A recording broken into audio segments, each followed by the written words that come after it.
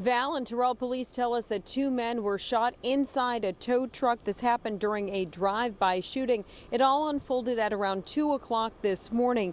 Take a look at some of this video. The yellow tow truck could be seen with several bullet holes in it. It was just hauled away from the 2200 block of North Pulaski. Police say the two male victims who were inside are both 45 years old. They were sitting inside the tow truck, which was parked, when they were shot by a person traveling in a dark colored SUV. Police say one of the victims was shot in the stomach and taken to Illinois Masonic in fair condition. The second victim has a graze wound to the head and is also in fair condition, according to authorities. Now, at this point, it's unclear how the victims know each other or what exactly led up to the shooting. Right now, police say this is an ongoing investigation, and so far, no one is in custody.